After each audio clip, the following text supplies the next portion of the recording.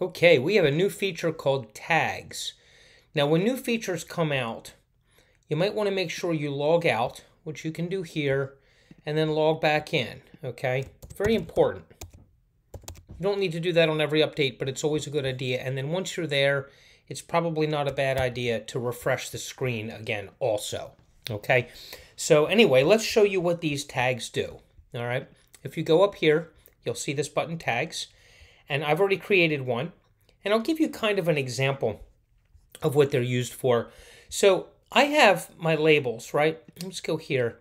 One of my labels is Genius Messenger CRM Partners. That's the, that's the partners, the reseller partners for this software.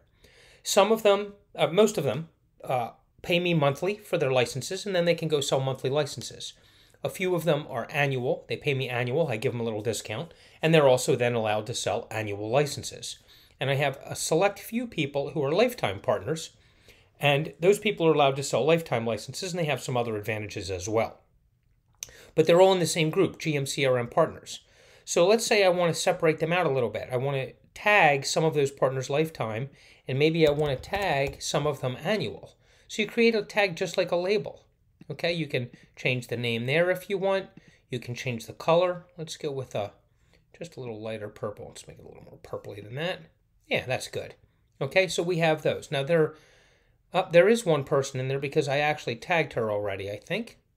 So, yeah, here we go. See, she has a lifetime tag. I can get rid of that tag, and I can add one there. Let's say she's lifetime, and let's say I hit annual accidentally, so you can have multiple tags. See, and they'll just line up here, and you can see what they are and you can delete them if you don't need them.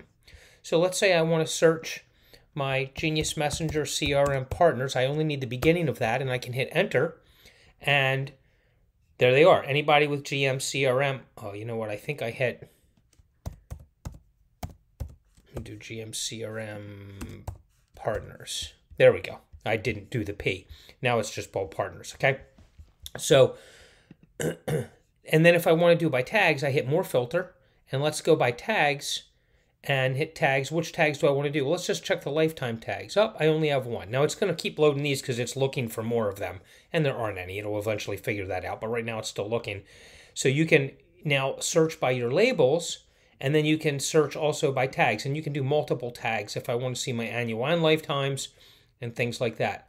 And remember, you can also now see unlabeled people who don't have any labels. You can see what were the last messages sent by you. Let's get rid of that. Last messages sent by you that are unlabeled. If you go here, I can see last messages that were sent by me within CRM Partners. And these are just ones that were sent by me, which means maybe I'm waiting for an answer from somebody. I can go in there and check and see if if they uh, have responded yet or not. So that's it. That's a new feature. That's tags. You know that we can still. Oh, I, I just talked about that. Never mind. Okay, so that's it. Um, and then over here, you'll see if I go to tags now, uh, I can click lifetime. Whoops. Um, well, Margaret should be in there.